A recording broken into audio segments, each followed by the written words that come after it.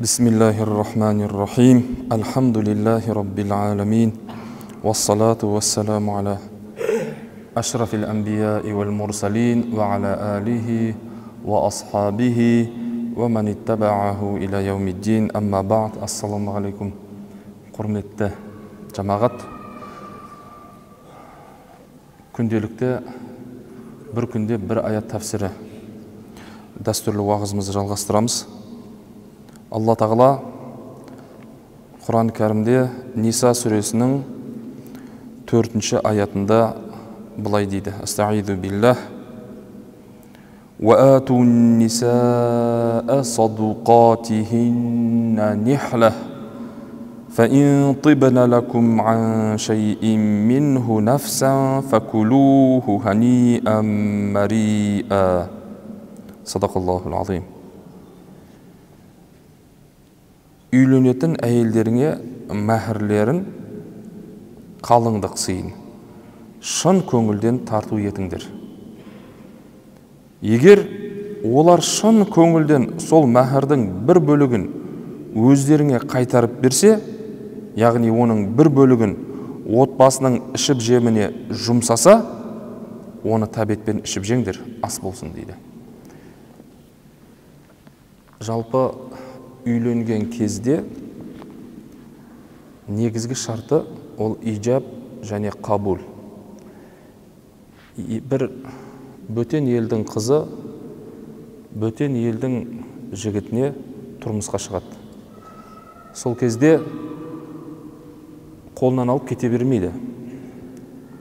Болды сен бұдан былай менің жұбайым боласың деп алып кете бермейді. Оны некесі қиылуы керек. Яғни некесі дегеніміз дүйім жұрттың алдында алланың алтымен ант етіп бұдан былай бұл кісініге мен әйелі болып баруға мен разымын сол сияқты ол ер кісі де айтады бұл кісі менің жұбайым болады мен оның алдында күйеулік міндетімді атқаруға уәде беремін деп соны ант ету керек.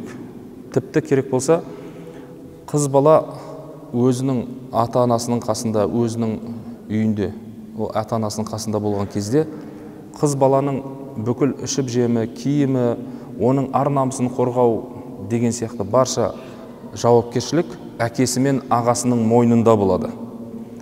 Қыз бала тұрмысқа шыққаннан кейін қазақта бізден кетті сізге жетті деп береді. Яғни бізден кетті деген қыз бала кетті дегенді ғана емес бүкіл жауапкершілік бізден кетті сізге жетті.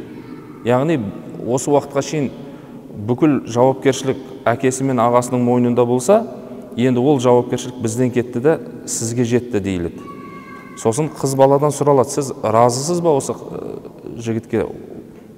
Әйел болып баруға оның жұбайы болып баруға разысыз ба? дегенде ол разымын дегенде одан кейін барып тұрып ер жаңағы күйеу жігіт айтады иә мен де бүкіл жауапкершілікті қабылдадым дейді. Сондықтан ижаб және қабыл бұл бірінші шарты.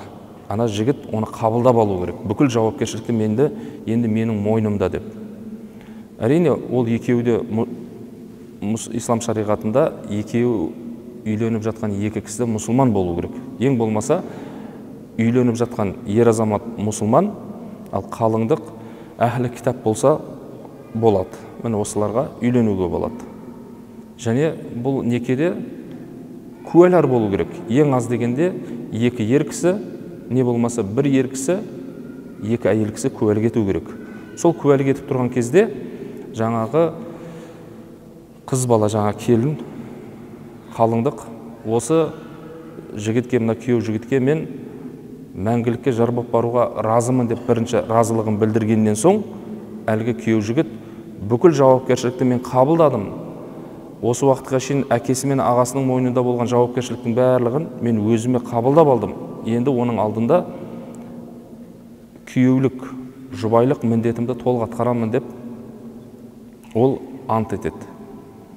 Сосын барып тұрып мәһір сыйлығын беруі керек. Міне дәл сол мәһір сыйлығы жайлы алла тағала осы ниса сүресінің төртінші аятында нақты бұйырады. Үйленетін әйелдеріңе мәһірлерін қалыңдық сыйын шын көңілден тарту етіңдер дейді. Шариғат бойынша оның мөлшері туралы әртүрлі пікірлер бар. Бірақ біздің ханафи мазхабында он дирхам деп көрсетілген. Мына біздің қазіргі уақытта біздің теңгемізбен осы жетпіс мың теңге көлемінде деп көрсетіліп жатыр. Сондай бір сыйлықты жаңағы қалыңдығына сыйлауы керек. Шын көңілден тарту ету керек. Ол жерде бір мен саған мынаны берем оның жартысын кейін маған қайтарып бересің не болмаса мен саған мәһірге осыны берем сен сол мәһірден кейін маған мынандай жасап бересің деген сияқты бір ә, ондай бір басқа ойлар болмауы керек. Шын көңілден оның өзіне беру керек. Болды бұл сенің мүлкің. Енді не істейсің өзің білесің деп. Ол жерден мен мынаны берсем жартысын бүйтіп бересің ертең осыны берген екен жартысын маған мынандай алып бересің деген сияқты ойлар болмау керек. Не деді? Шын көңілдерін тарту етіңдер дейді.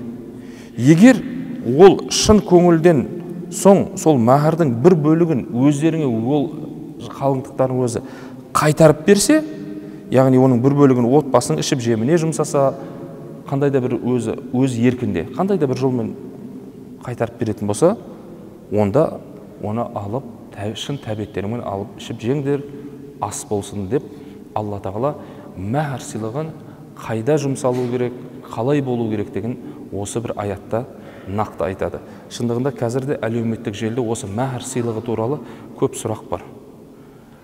Бұл мәһәрдің мағынасы осы. Жалпы мұхаммед пайғамбар бір хадисінде айтады. Тахаду тахаббу бір бірлеріңе сыйлық жасасаңдар орталарыңдағы махаббаттарың арта түседі дейді. Міне үйленген кезде отбасыны білеміз міне үйленген адамдарда бәріміз. Отбасыны не ұстап тұратын негізгі тірек ол ортадағы сүйіспеншілік махаббат. Ер кісі өзінің әйелін жақсы көреді ол әйел де оны өзінің ерін жақсы көру керек. Сол ортада бір махаббат болуы керек. Сол махаббат осы отбасын ұстап тұрады. Ал сол махаббаттың арта түскен сайын ол махаббат күшейген сайын отбасының да іргесі берік бола түседі берік бола түседі. Сондықтан бір бірлеріңе сыйлық жасасаңдар махаббаттарың арта түседі дейді. Бұл бастамасы. Онан соң ортада ұрпақ келеді өмірге. Ұрпақ келгеннен кейін ортада одан да махаббат арта түседі арта түседі арта түседі. Міне сол отбасыны берік ете түседі. Отбасының іргесі осымен берік болып шайқалмайтын болады екен. Сондықтан алла тағала құран кәрімде үйленген кезде мәһәр сыйлығын беруді осы ниса сүресінің төртінші аятымен нақты етіп бекіткен екен. Оның төменде көптеген хикметтері бар даналықтары бар. Соның ішіндегі бір даналығын шамамыз келгенше айттық. Алла тағала еліміздегі әрбір шаңырақта махаббат болып ол шаңырақта береке болып балалардың күлкісі болып сыңғырлаған күлкісі болып отбасылардың барлығы бақытты болып қосақтарына қосақ аруларын алла тағала нәсіп етсін.